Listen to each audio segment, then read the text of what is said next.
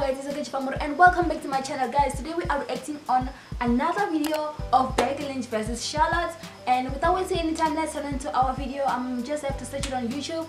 Today I'm reacting on my computer. I'm excited for that and now I'm wearing pants.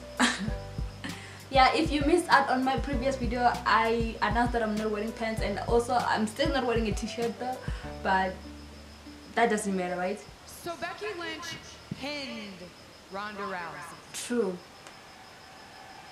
And she won both the Raw and SmackDown Live Women's. Championships. Fact. But she pinned Ronda Rousey. Still, she won. She No. pinned Ronda Rousey. It was I a did not tap triple. out. It was a triple match. What do you mean? I did not get pinned. So, but you were out. Do you want to know what that means? Ronda Rousey lost You also my lost. championship. so Becky Lynch did not beat. No way. So I want Becky two belts to come out here and explain to me why she thinks that she's the rightful champion when she did not beat me. She did. Technically. You said it was a winner takes all match. Did you not understand what that meant? Yeah, she didn't. Clearly not. The baddest woman on the planet, the woman that nobody else could beat. More importantly, the woman that you couldn't beat. Ronda Oh. Rousey. Oh. I'm pretty sure I was in that match too. You were in that match, but Just I to bring the title. So I wanted to know that I could beat Ronda Rousey because I already knew I could beat Charlotte Flair. Fact. Fact. And guess what? When it was all over, I walked out with both of your titles, and there wasn't a damn thing either one of you could do about it. True. Oh, Charlotte is pissed right now.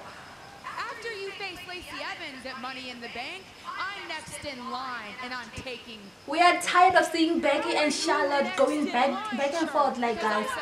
Come You know on. what I want? Shut your face, you stupid dope. I'll tell you what I want. She just called Charlotte stupid. Oh. What I oh. want, what I want, do you want? What I want is for you to clear the way for the likes of Bayley, for Mickie James, for Ember Yes. because I want new challenges. Yes. I want new opponents. Yes. For you to the top. I will still be Becky two belts. Becky two belts. And I'll do it nine. Bayley. Just in time. How about this though? Bayley, don't listen to Becky. Get in the back of the line. Because this is still What? my show. What? Back of the line.